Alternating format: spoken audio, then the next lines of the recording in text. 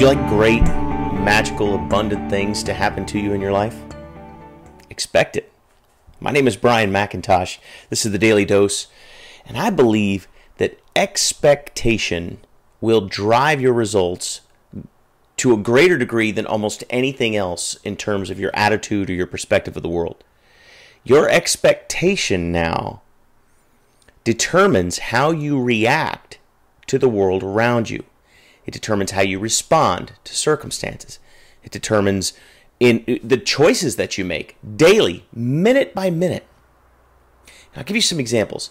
Let's say, for example, that you expect to be overweight for the rest of your life. Maybe because you have parents who are overweight, or relatives are overweight, or maybe the majority of your family is overweight, or maybe you've just been overweight for all of your life and you've given up hope that you'll ever be anything but overweight. So if you have an expectation that you'll always be overweight, why would you exercise? What's the point? Right? Why would you skip the dessert? What difference does it make?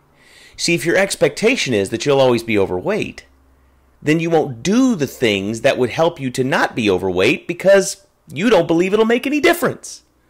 And because you don't do those things, you will remain overweight. And then it becomes a self fulfilling prophecy. And you'll say, See, told you. right? But it works that way in your finances. It works that way in your spiritual life. It works that way with your relationships. You ever been arguing with your spouse or your significant other, and, and all you're really arguing about is how you're arguing all the time? you know what I'm talking about? It's because you have an expectation that there's an argument coming. So you're armed, ready for battle, right? Your expectation has everything to do with your choices, your responses, your words, your attitude, how you feel, and how those feelings come out of you and affect the world and the individuals and the people around you. It has everything to do with it. Your expectation. So, one of the interesting things about optimism is you'll hear people say that the most successful presidencies are, or the, the, the, the, people that are the most successful in presidential elections are overwhelmingly the ones who are judged to be the most optimistic you'll find that the people that you like being around the most are the ones who are the most optimistic. Unless, of course, you're a giant complainer, in which case you want to be around other giant complainers so you can sit around and play Ain't It Awful all day. right?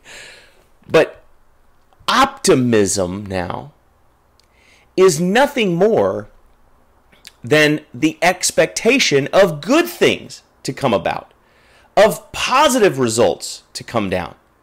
Whereas pessimism is the expectation of negative life experience negative results, negative circumstances. So they're both expectation, right? Both optimism and pessimism are expectation. The question is, which expectation will you choose, knowing full well that what you expect will manifest in your life? You know, there's an old saying, and Jim Rohn used to say it. Say, you don't get what you deserve, but you most always get what you expect. That's the dose. Go make it a great week.